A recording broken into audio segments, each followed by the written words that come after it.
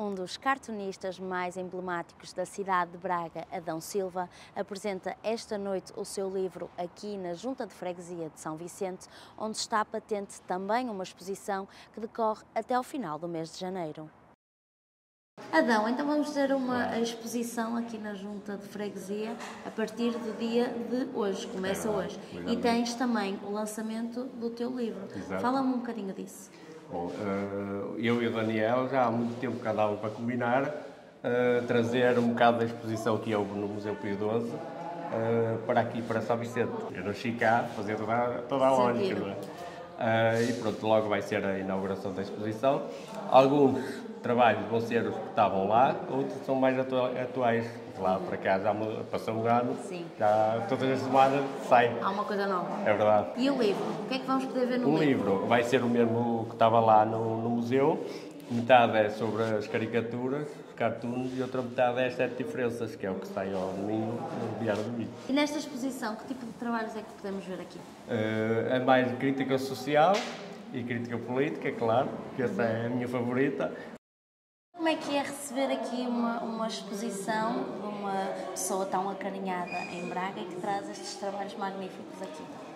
Como, como o Adão teve a oportunidade de dizer, de facto é para nós um gosto enorme receber aqui o Adão. Esta também é a sua casa, é a casa dos Vicentinos, e o Adão, como nascido e criado nesta freguesia, é muito importante para nós que aqui também haja um espaço de promoção daquilo que são os artistas bracarenses, e nomeadamente uh, vicentinos. Neste caso concreto, o trabalho do Adão é reconhecido uh, localmente, nacionalmente e eu penso que também internacionalmente, por aquilo que também é o seu currículo, e sem dúvida alguma que ter aqui estes trabalhos, ter aqui a apresentação do livro à nossa comunidade, à comunidade do Adão, é sem dúvida um, um momento marcante e que acaba por, de alguma forma, coincidir com aquilo que também é a nossa política de promoção da cultura na cidade de Braga. Como é que surgiu esta oportunidade e como é que foi aceito o convite?